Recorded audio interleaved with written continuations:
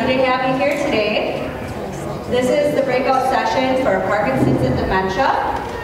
Our speaker, Dacy, is a board-certified nurse practitioner licensed to prescribe and treat in primary care and specialize in neurology and movement disorders. She has had more than 20 years experience caring for individuals with Parkinson's disease. Dacy practices at Lakeside Neurocare in Fond du Lac, Wisconsin, with subclinics in Oshkosh and Ripon. She is an inpatient medical consultant to acute neurological conditions such as stroke and seizure at St. Agnes Hospital, Aurora Oshkosh and Mercy Medical Center in Oshkosh. Dacy's clinical practice specializes in the diagnosis and treatment of individuals with Parkinson's disease. Dacy will discuss disease symptoms along with pharmaceutical and non-pharmaceutical treatment options for optimizing quality of life for persons living with Parkinson's disease. Please welcome Dacy.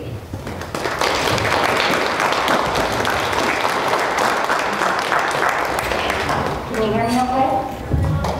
Thank you for having me, I appreciate it. So uh, what I want to talk about today is uh, primarily introducing a little bit more to Parkinson's disease, but obviously with a focus on uh, dementia. Um, I joined Lakeside NeuroCare about three years ago. Uh, prior to that, I was down in Milwaukee at the Regional Parkinson's Center for over 20 years. A lot of the data and information I'm going to show you on my slides comes from our Parkinson's Research Institute. We have uh, a lifespan database on our patients that we were tracking data. We also had a brain bank for Parkinson's disease. Um, and most of the people in that uh, that were involved in the brain bank had memory disorders. So there's a lot of differentiation between Parkinson's dementia, Alzheimer's disease, Lewy body dementia, vascular dementia. So uh, that's really my background. I uh, started the brain bank, uh, did all the procurements, and um, we did a lot of what we call lunch and learns, where we would basically do like a large grand rounds, uh, talking about individual cases, uh, what the diagnosis was when they came to us, or if we had diagnosed patients, uh, their course over a lifespan, what medications we used, what they responded to, uh, and then what the autopsy showed so that we could check our accuracy and not just continue to practice the way that uh, we thought we should practice um, without really learning from it. So uh, that's kind of the background of where I'm coming from. I left the Regional Parkinson Center because uh, the doctor that started the practice retired and uh, the practice closed. So I moved closer to home because I was commuting to Milwaukee for 20 years. So um, I'm happy to be at Lakeside.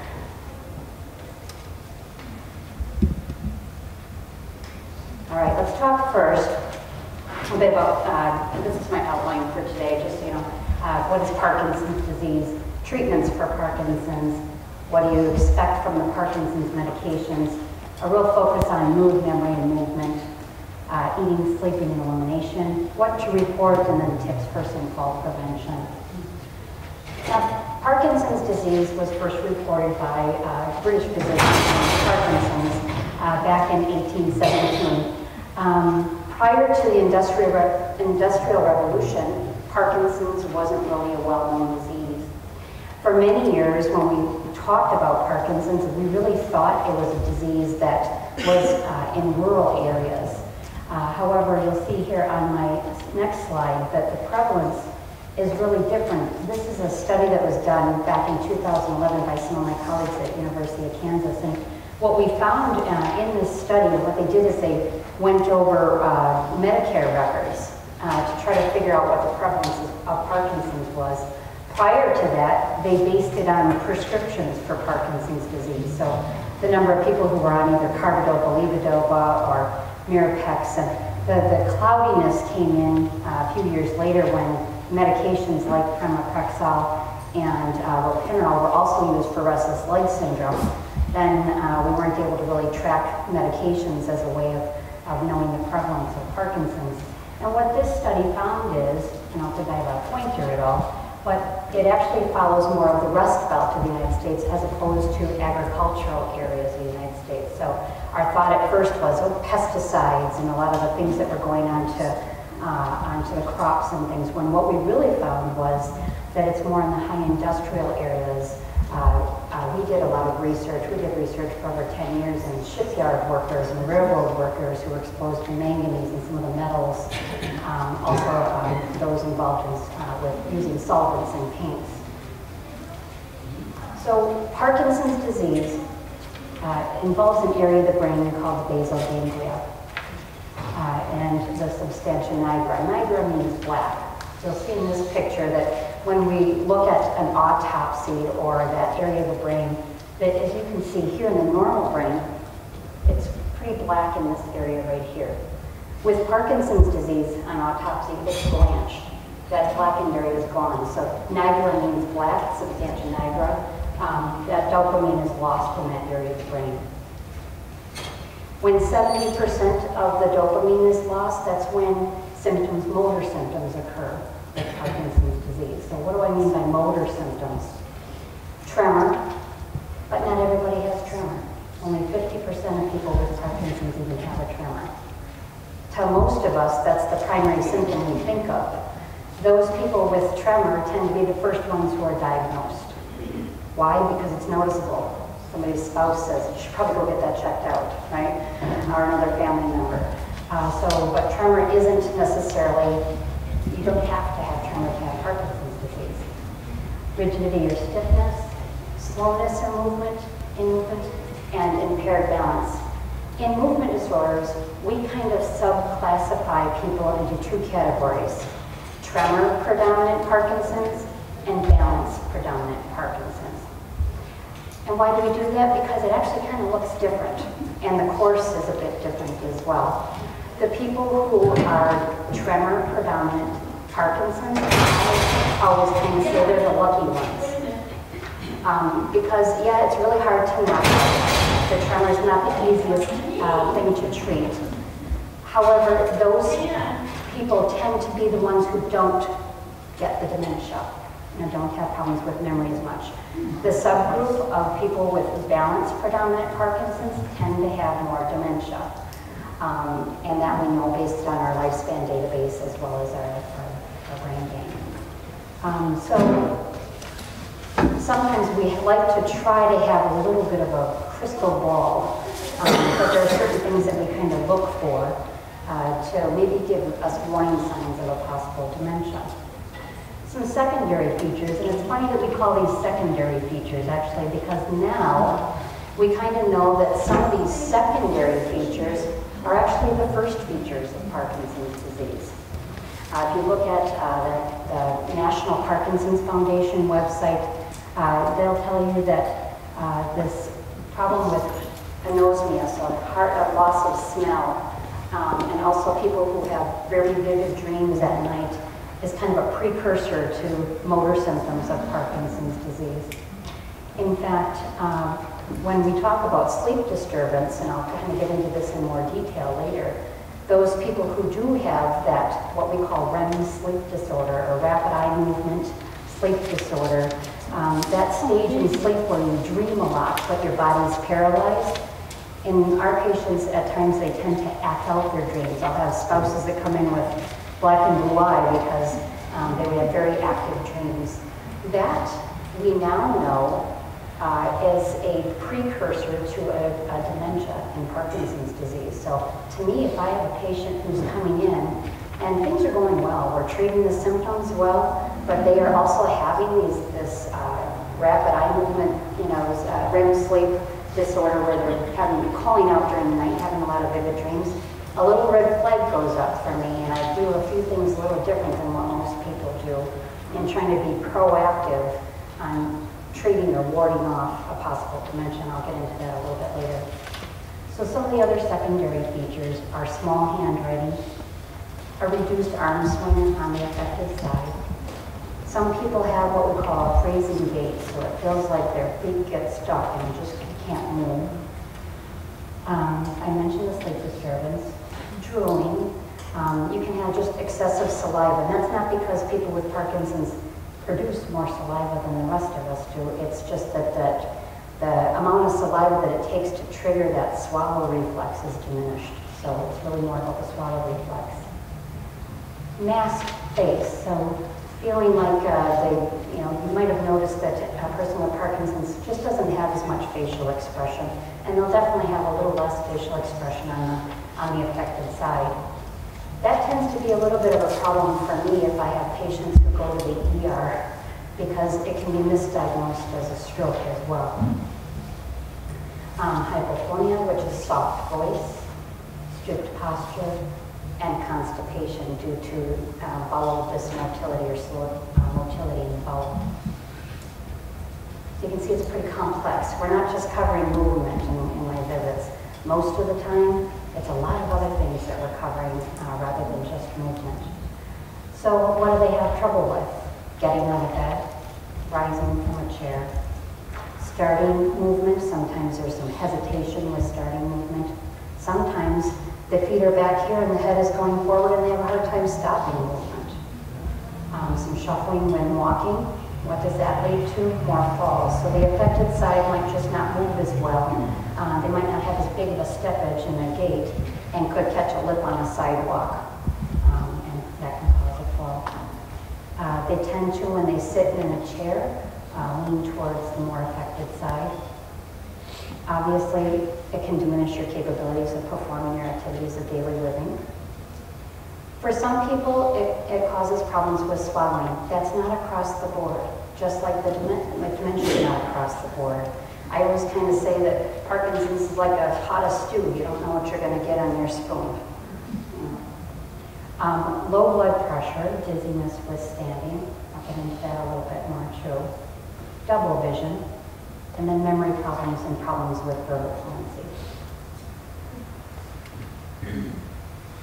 So what do we do? So we have a dopamine loss, a neurotransmitter in the brain that's depleted. So our goal with treatment is to give back dopamine. It's actually quite simple. Uh, the gold standard treatment is a medication called carbidopa levodopa, or as one of my patients calls it, this Oompa Loompa pill. they don't like to be able to say it. It's a hard thing to say. So um, with all of our Parkinson's medications, you know, and I had, I had six new patients yesterday, and, you know, it's hard to tell people that when you're going to go to treat that the minimum dosage is three times a day with these medications, you know, so it, it seems like a lot of medicine, and I'm very conservative when it comes to medicine, but saying to somebody, now you got to take a pill three times a day, doesn't sound like I'm very conservative, does it? But really, you do want to be as conservative as possible. So carbidopa levodopa, as you can see, is two words, carbidopa and levodopa. The levodopa is dopamine. So that's what we're giving back. The carbidopa is in there to keep you from puking. Okay? because if you gave levodopa by itself, it would cause it would cause you to throw up. Um, so that's really blocking that and helping it to um, be taken up into the system better. So there is a carbidopa levodopa or levodopa is natural. It's made out of fava beans and velvet beans. We don't really eat those beans in the United States. Those are really European beans. Um, you eat enough of the, those beans and uh, make up for it in your diet? No. Um, plus, there are side effects with lots of beans. you wouldn't want to. However, there are, there are formulations of it called a Mucuna powder that you can find in health food stores or on Amazon. A number of years ago when I was at the Parkinson Center, um, we obviously got patients from many states and things. I had the support group leader from uh, Michigan call me and she said, Dacy, everybody wants to know, wants to uh, start this Mucuna powder because it's natural. And so she had people that were going to health food stores and uh, going through Amazon to get this Mucuna powder. And I said, well, that is carbidopa, levodopa. It's just in a, you don't have to play pharmacist and try to figure out the dose. Plus, it doesn't have carbidopa, so they're all going to puke. so, you know, don't, I, always try to discourage that. Uh, even though they think, well, I'm going to the health food store, so it's natural. so is it, it is in the pill as well.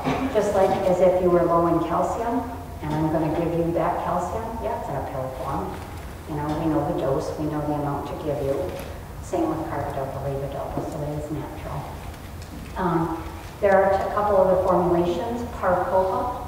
Parcopa is a orally disintegrating formulation of levodopa, so people who do have swallowing problems or say they've gone into the hospital, can't take things by mouth, or they're NPO, you know, so they can't take things by mouth, or just not swallowing well, or whatever the deal might be, at risk for aspiration, you can do uh, Parcopa as a, as a alternate. Uh, Stalevo is a combination of carbidopa, levodopa, and another medication called entacapone. And then Rytari. Rytari is the newest formulation of carbidopa, levodopa, and uh, it's the longest acting uh, formulation of carbidopa, levodopa. When I was at the Parkinson Center, we also had a whole arm of uh, clinical trials. So um, I did all those studies to get those, those drugs approved. There's only one on the market that I, that I didn't do. So Rytari we did for over four years. I love it. I especially love it for my patients who are what we term young onset Parkinson's. Um, and that's mainly because our whole goal with medications and the reason why we even do clinical trials is to get the longer acting uh, effect of the medication so that uh, they don't end up having problems like you see with Michael J. Fox where he fluctuates. Um, you know, he can have peaks and troughs. Um, you may have had uh, people you know or patients that you, or people that you take care of uh, that have those problems with on and off periods where the medications just don't seem to be working well, and now their of function declines. So we're trying to we're trying to ward that off if possible. Um, that's my complete goal in the clinic is not to treat people right now, but keep them looking good for a long time, especially my young onset. Right now I have, um, well, my youngest patient was 11. Um, right now I have two brothers. Um, one just graduated high school and one is still in high school. Got a long time to treat them. You know, that side effect profile of those peaks and troughs in the medication is a reality for them. It is a reality for everybody. So I really have to be wise in the medications that I pick. Question. Um, Do you have any, any, your point of view, personal view on CBD oils and Uh, so her question is um, about CBD oil in Parkinson's. Obviously, it's not something that can prescribe. Um, um, and a lot of research hasn't gone into it as well. So most of the information that I'm getting back is a bit uh, anecdotal based on my patient's experience who's, who have used it. I haven't anything, had anything go bad yet. That's what I can tell you. And I'll be honest, I had one uh, patient in particular who uh, she came in with her husband, a daughter, and a son, and they really wanted mom to try the C, try CBD oil. And she's a pretty anxious person and things, but um, I was leery because she actually has had uh, dementia and some executive function problems, and I was really worried about uh, any uh, cognitive reaction that she might have to it. They did a low dose. It didn't really help, so they bailed, but it didn't make her worse, at least, and that was my concern. I really didn't recommend it for her, they used it anyway.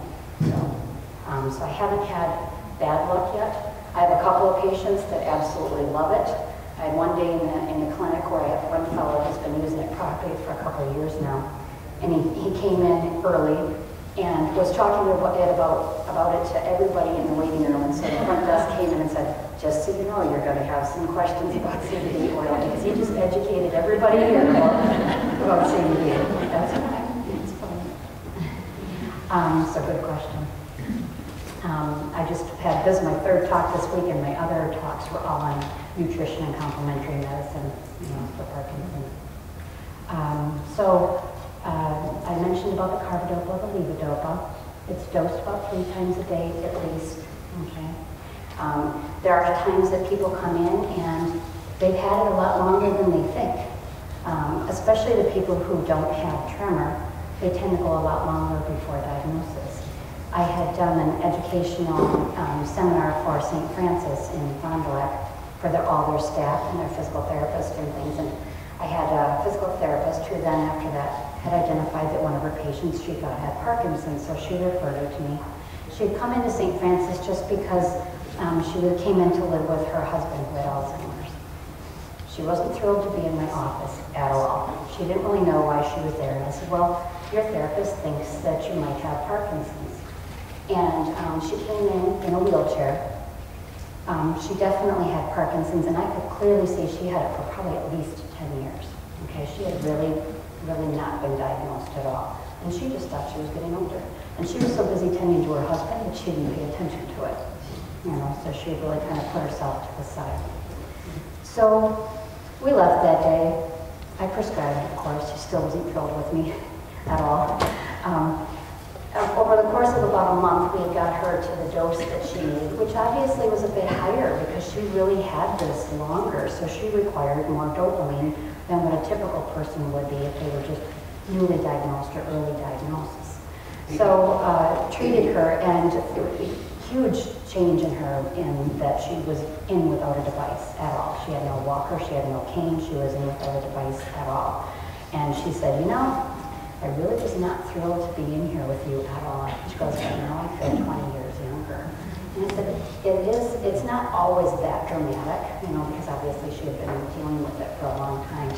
But uh, when the diagnosis is right and the treatment is right, it makes a difference. And the goal is to improve that slowness and that stiffness.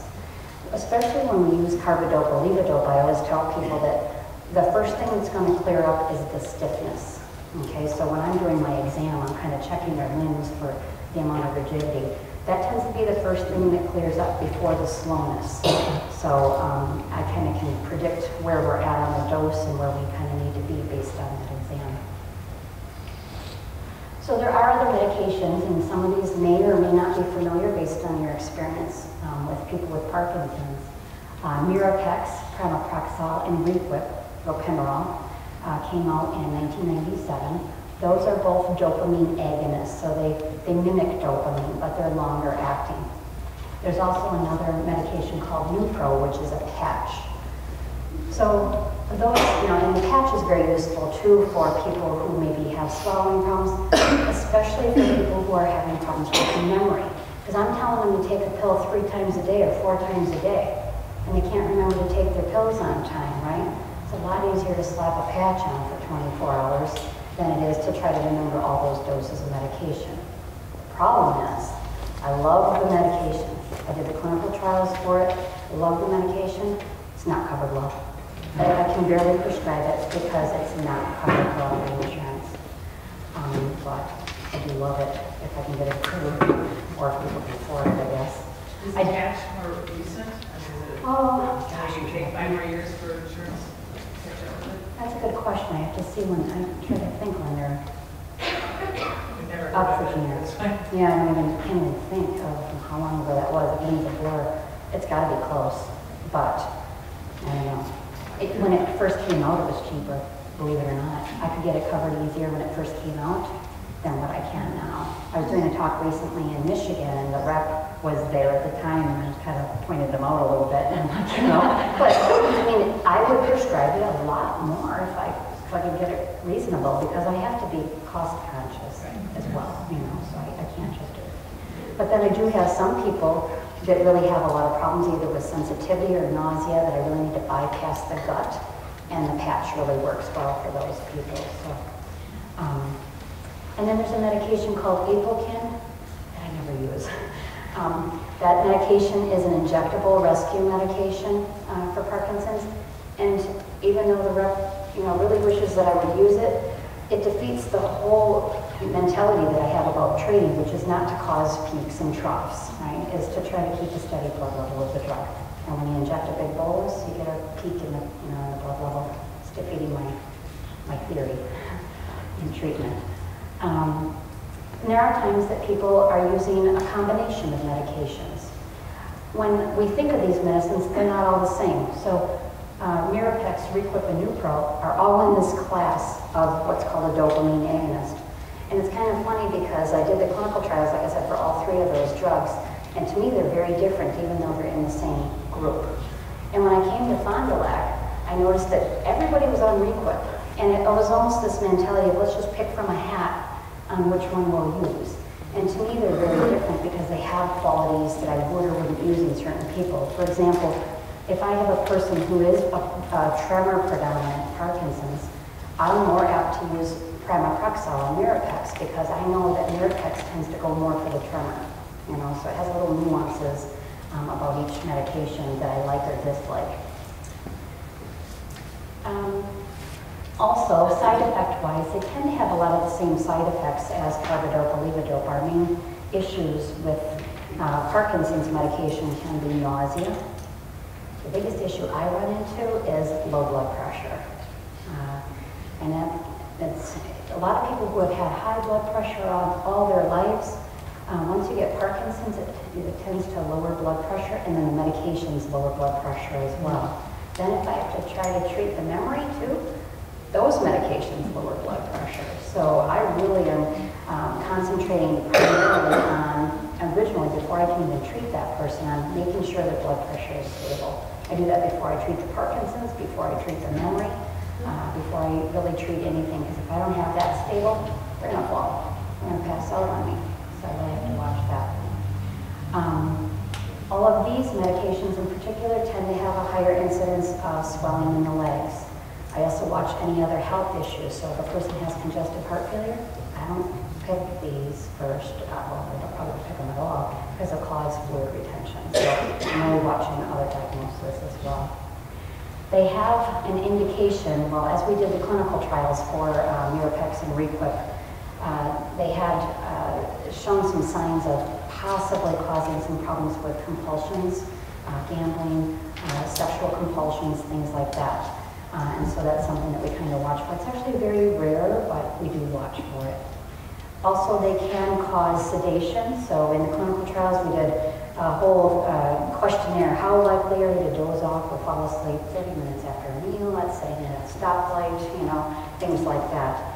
Um, if daytime sleepiness, um, which is pretty rare with these two, but if it happens, I bail. You know, I switch to something else. I had one guy call me. He was doing really well on Mirapex, um, and he called me from Oshkosh, and he said, "Yeah, I just had to pull over when I was driving." And I'm like, "Oh no, we're not, we're not going to have you sleepy while you're driving. We're going to switch you to something else, you know." So, but you don't know until you try, unfortunately.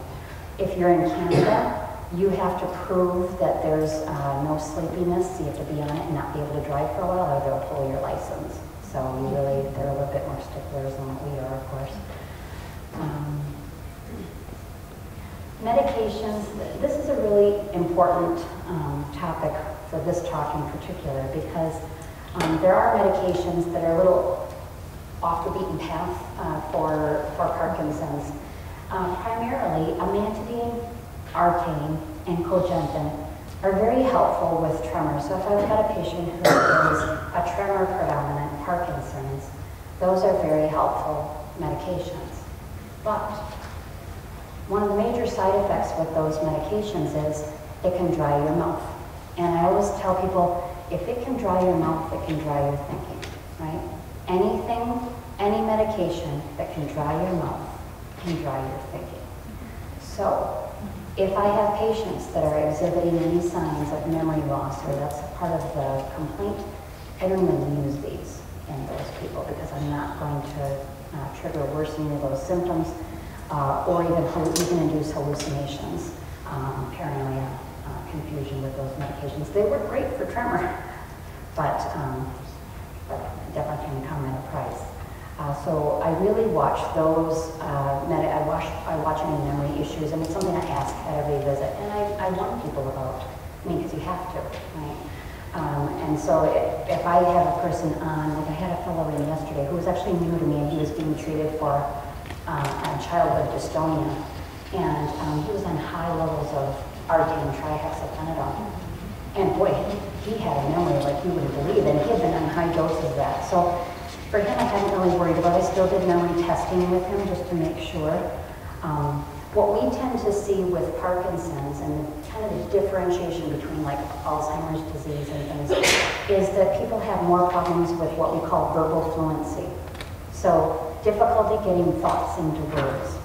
They're trying to come up with these words, and it's not just a name or two, okay? It's that in general conversation, especially when we're talking about um, getting together for the holidays. You know, we're coming up on the holiday season with Thanksgiving and Christmas. Those people tend to come and listen a lot and follow the conversation. Why?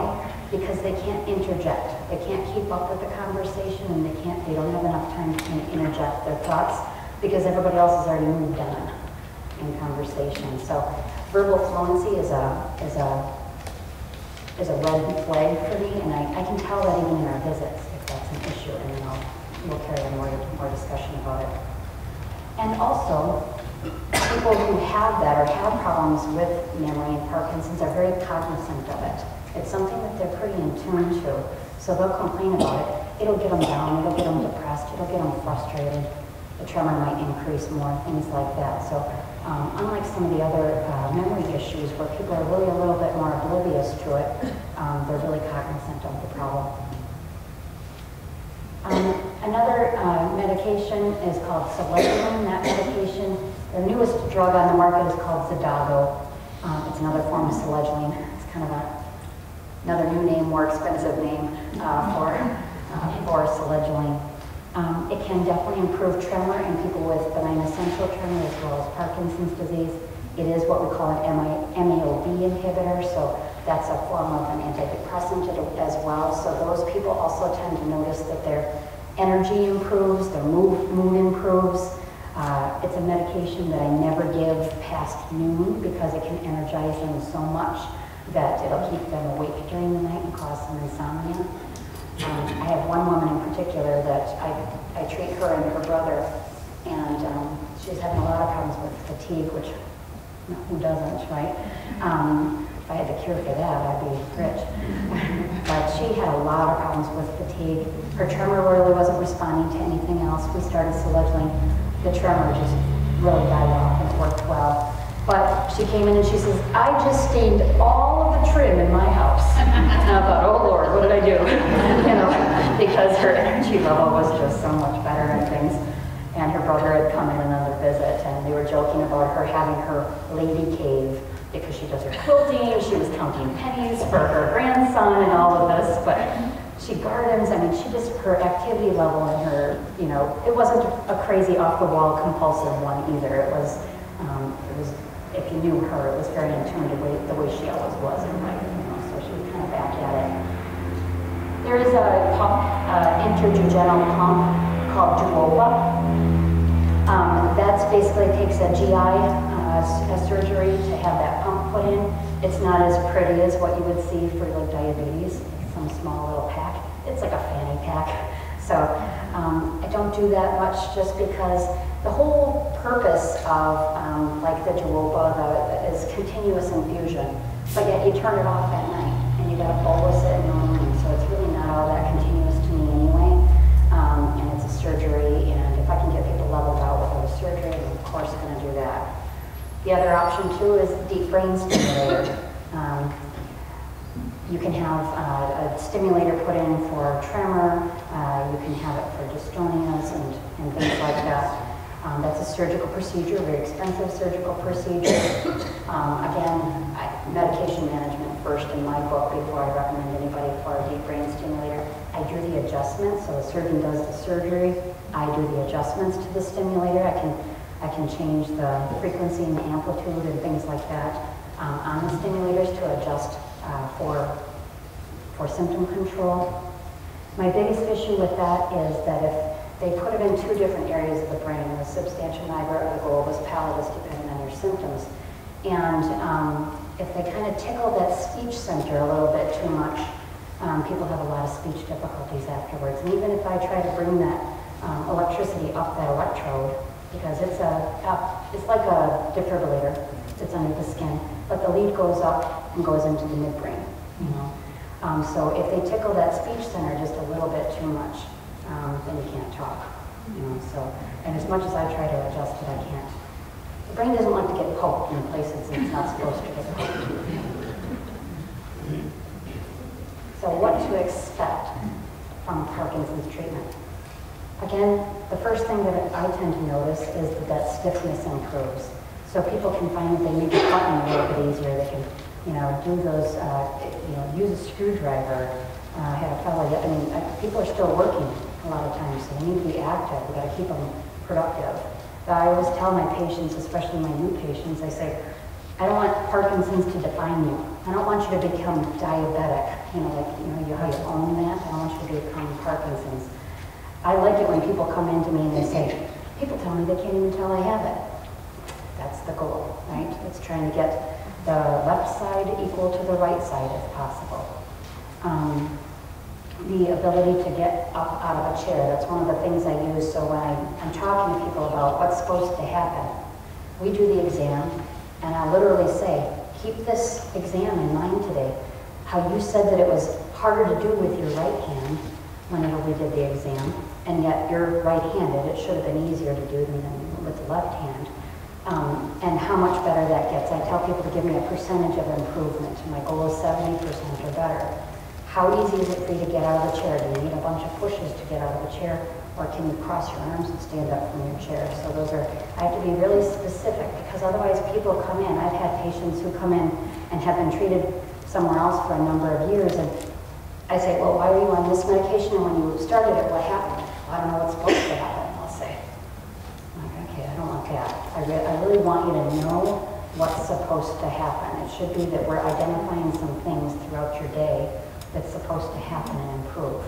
That's why exercise is such a great gauge for that. It becomes a control. If you do that regularly throughout the day, and you're going, I can get on the bike, I can get on the treadmill, or I can walk three blocks before my right leg wants to scuff and hit a, you know, a crevice in the sidewalk. Now I can walk seven blocks, or, you know, you have to use those things as a gauge of um, improvement. Obviously, uh, decreased tremor. Improvement in swallowing. It's something I think a lot of people don't tend to kind of know, that that levodopa, if you have swallowing problems, it's very responsive to levodopa, okay? So oftentimes I'll have people who, that's what I'm using as a gauge for treatment. That's a big issue. I mean, we're talking about aspiration pneumonia here. Um, I take that very seriously, and that's how I'll gauge my dosing. Um, but you got to know that's what you're assessing, and then maybe have staff or speech therapy, somebody to be able to help you give you more information um, on, the, on that symptom. Uh, decreased leg cramps. So people who have uh, a limb that's affected by Parkinson's feel like it's heavy. They feel like it's they're wearing a cement shoe or like it's a tree stump. These are all descriptions that they give me. Um, but they can also have charley horses or leg cramps. That's a dystonia. And that tells me that the medication um, can be low. It can also tell me if it's too high. So, um, and that's based on timing of the medication. So if it's, um, they're getting a, a dystonia and it's always about an hour after they take the drug, that's telling me that that drug is inducing dystonia as opposed to it being low. It cannot help handwriting, okay? People want it to, it cannot help soft speech, and it cannot help drooling. Drooling's the biggest issue because everybody wants me to give them something for their drooling and make that stop, but everything that dries your mouth can dry your thinking. So I'm very selective about who and what, how you treat that. The best thing that I tell people to do is suck on sugar-free hard candy because sugar-free or your dentist is going to send me hate mail. Um, and it triggers that swallow reflex, right? Um, handwriting uh, improves. Actually, the only study we did that showed improved handwriting is on a exercise program called BIG. So LSVT BIG. And they do a lot of these big movements and it actually improved handwriting. Soft speech responds to LSVT loud. It's a loud therapy program um, that improves voice uh, uh, tone and works with the diaphragm, which is obviously a muscle, to strengthen it to protect the voice more. Side effects, constipation, low blood pressure, edema, anxiety, daytime sleepiness, dyskinesia, which is oh, kind of what you see with Michael J. Fox at times, where he's slow or has a tremor, then they break to uh, let him you know, take his medications, and now the right side has these kind of swing movements or rising movements. That's a dyskinesia. One of my big goals always is to try to make sure everybody knows the difference between a tremor, which is a shake, and a dyskinesia, because they tell me two different things. So especially if you work at a facility or you're a caregiver and I'm trying to get a report back on how the medication changes work, I don't want dyskinesia. That's telling me the drug is too high. Okay? And if you're calling me back and you're saying, oh no, the tremor is worse, I'm thinking they might need more medicine, where really there it's a dyskinesia, and that means it's too much medicine. So that report for me um, is really, really important to be able to identify those symptoms, um, because that's how I'm going to adjust the dose. Um, blepharospasm. A blepharospasm especially is when the eye wants to close, or these people say, you know, I can see it in the visit, but not everybody identifies as a, as a problem. They just say, well, my eyes just don't want to open, or they'll kind of close their eyes a lot and they'll be clenched. Um, that's a, basically a form of like a dystonia, and that's usually the meds are too high. Okay? Too much bilateral eyes or? Not, no, not necessarily, it can be just one, exactly, and that's meds are too high. Too high. Uh, nightmares, nausea, obviously, the hypersexuality, gambling, and a dystonia, which can be um, the arm wanting to pull up. If you're seeing somebody walk and their arm is kind of always wanting to come back here, or kind of wiggle around back here, or pull up or draw up. Um, again, that can be too low or too high, and that's where I'm going to dig around for information on when that occurs. Toxicity, confusion, hallucinations, and paranoia. Yes? Lisa, you ever see increased aggression um, or having issues with personal care being done and things like that when you see the hypersexuality, the gambling? Um, yeah, but it, usually it also tends to be a case that anytime we're seeing those issues, we also worry about um, future dementia, you know, or current, current or future dementia. It should be a little red flag to us that we really need to watch the dose of the medication, but also be thinking of the medication. And usually if there's more aggression there, that, that's giving us a good clue that, um, Yep, the dementia's starting. So let's touch on that a little bit, if you don't mind, and that's uh, where I want to really focus too.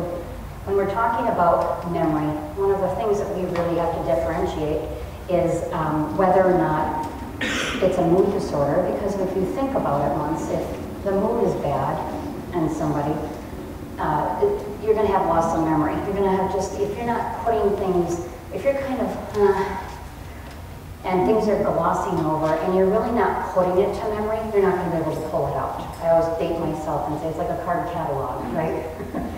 we don't use those. Um, but if you, you know, if you don't file it properly, you're not going to be able to pull it out to use it. So we really, it's really important, and we, we did this when we had the brain bank too, is everybody had to have um, a full cognitive workup, a full cognitive battery. Why? A, to establish a baseline on mentation, uh, B, to rule out any depression or anxiety. With anxiety, you're like three steps ahead, right? You're not focusing right now. You're not going to be able to, again, kind of file it properly because you're already way over here. Um, and you're not living in the now. Um, so that short-term memory is going to be more of a problem. So we really need to watch um, that it's not a, a mood disorder as opposed to a memory disorder. Plus, in treatment, you're barking up the wrong tree completely? You can waste a lot of time on antidepressants if it's an organic memory problem. So it really is important to identify if it's a mood disorder or a memory disorder, or both. Um, so from my standpoint, memory is a big thing. My practice is a lot different now than it was even three years ago in how I treat and how I identify people um, with memory disorders. And a lot of that is just really looking at the research that's out there. And I'm sure you all have, you know, are keeping up with it as best you can. That's why you're here today on memory research. And with Parkinson's disease, we know that people who have that REM sleep disorder tend to be, that tends to be a more of a precursor to memory problems. In my clinic, I, I take that seriously. If that's an, uh, something that I identify, I now do a bunch of labs. I check homocysteine levels, I check Bs, I check- vitamin Ds. I, there are a whole bunch of labs that we know are inflammatory markers. And we know that a lot of Alzheimer's and vascular dementias, as well as Parkinson's disease, are now actually more inflammatory in nature than just uh, problems with neurotransmitters. So I really do a lot of diet teaching, uh, nutrition, I should say, not diet, because I really don't like the term diet. It really has to be a lifestyle change. We really push the Mediterranean diet. I check these homocysteine levels. My goal is to try to get those homocysteine levels down. I check, I, I always say to everybody, I, I want somebody to check mine, you know, because what do we fear in life? We fear dementia. We don't want it, right? If we could do something to identify it sooner, and I can do something to try to bring that inflammation down and ward off dementia, I should be doing that, not waiting till it happens and then treating it with a cholinesterase inhibitor.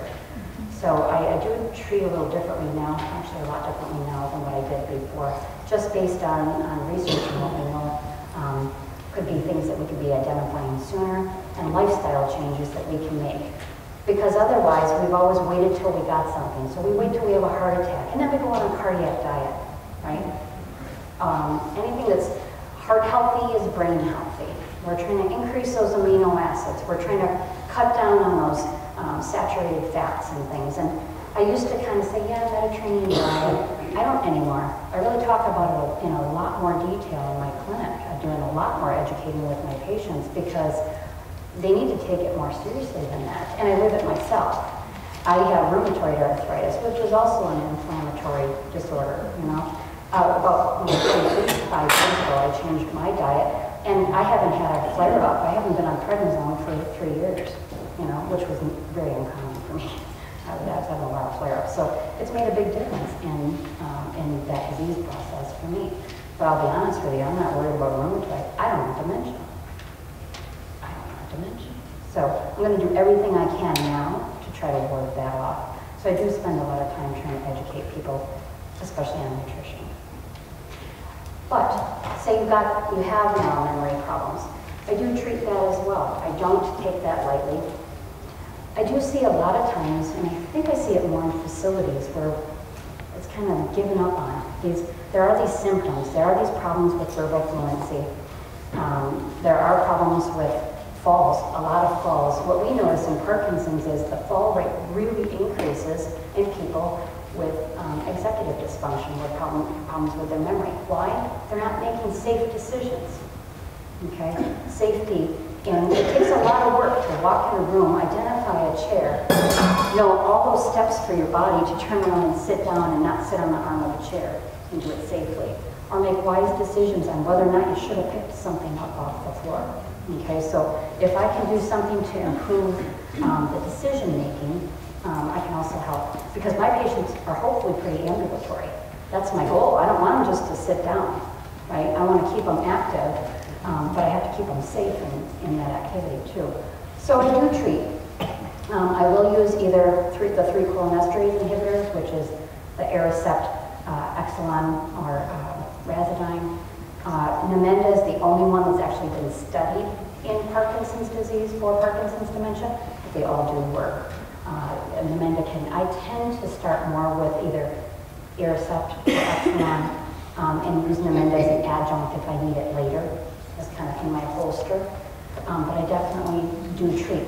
When we're talking about Alzheimer's disease, the goal is just to kind of slow the course, right? Not in Parkinson's. I actually see an improvement in that verbal fluency. Kids will call me and say, I live out of state, and dad now talks on the phone. He never talked on the phone before because he couldn't carry on that long conversation. So we do see an improvement in the falls because of decision making and also in the verbal fluency. So that's something that, and even the patient reports it. So I do definitely treat that, and we actually see an improvement in it. Um, obviously, if there's any infection, so if there's a worsening of confusion, we always need to think about what's going on. Is there an infection, a urinary tract infection? Is there um, a respiratory infection? Also, other medications. With Parkinson's disease, I have a whole list of medications um, that are on a contraindicated card that can cause worsening of memory problems. And I give that out to anybody that I identify that has a memory issue. The biggest culprits there are bladder medicines, right? So if you have any kind of urinary incontinence, what are they going to do? They're going to put you on a bladder medicine that dries your bladder, dries your mouth, dries your thinking, right? If it dries you up, it can dry your thinking. So um, we've got to take a look at that and eliminate any of those um, possibilities. Um, I also have to look at Parkinson's medications. Are any of those worsening the problem? Yep. Lisa, when you say dries your thinking, what exactly do you mean by that? I'm talking worsening the dementia and will cause um, more, more hallucinations, um, worsening behaviors, paranoia. Worse memory? Absolutely. Yep, So yep. everything- Everything, yep, yeah. So the, the, the sticky wicket that I run into is, I run into it frequently, is the choice of moving well or thinking well. And there are, carbidopa, levodopa, and our anti-Parkinson's medications can A, increase homocysteine levels, which I told you before, is that inflammatory um, lab that I can run. But It increases homocysteine levels, so I have to watch that. But it also can increase confusion for people. So there are times that I'm walking a very fine line and people are going, well, you know, mom can't move as well. I'm going, but if I increase the medication, we're going to worsen the confusion. Okay, so we have to make a choice. We have to find a, a happy medium here um, between moving well and thinking well. And that's a tough choice, but thinking always comes first. Thinking always comes first in my book. Um, because if you're not making good decisions and you don't have those relationships with your family and everybody coming in, it's, it's a big loss, a big loss. Um, I'm not going to probably go into real great detail on this. The one I really kind of wanted to hit on is, like I said, that REM sleep disorder. If that's something that that people are ex- experiencing, and there's a little bit of question on whether or not even childhood, like uh, uh, sleepwalking and things like that, are, are, are a precursor to it as well, but there's some research going on there. Um, as far as treating some of those behaviors, I wanted to kind of hit on that. So you probably have seen that commercial on TV for uh, the cat, the black cat, and people with Parkinson's having hallucinations. That's actually a commercial for Nuplazid. Um, that's a medication. I did the study for that too. It was called pimavanserin at that time um, for people who are experiencing either uh, delusions, uh, paranoid ideation, or uh, hallucinations in Parkinson's. And like I said, that's not everybody? Not at all. But um, it is a once a day medication now. Uh, they came out with a 34 milligram pill. It was 17 milligrams in the study, and we did it two doses in the morning. Um, and that medication can help with, uh, with problems with hallucinations and paranoid ideation. The nice thing that I noticed when we did that study was it didn't drop blood pressure. So prior to that, we were using medication called quetiapine or Seroquel, which definitely dropped people's blood pressure, um, which I was always trying to stabilize. Um, and so I was kind of curious whenever the data came out and we got everybody's data pulled together, if that's what everybody else had seen as well, and it's really holds true. So I really like Nuplazid better in the sense that um, it doesn't drop blood pressure, uh, but yet can treat uh, the hallucinations and delusions. Now the key here is that medication really needs, it really will not kick in for like about three months. So it's not like it's going to happen overnight.